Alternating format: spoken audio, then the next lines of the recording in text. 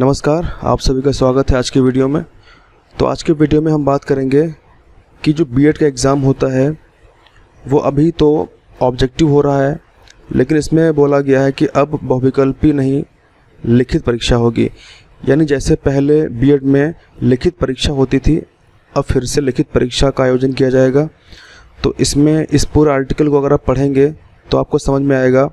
इसमें कहा गया है कि छत्रपति साहू जी महाराज विश्वविद्यालय सत्र 2022-23 में नई शिक्षा नीति के तहत चल रहे पाठ्यक्रम में नवंबर से प्रस्तावित विषम सेमेस्टर के सभी विषयों की परीक्षा लिखित होगी और कोर्स के साथ लिए गए वोकेशनल जो विषय होंगे, उनकी जो परीक्षा होगी, वो बहुविकल्पी होगी।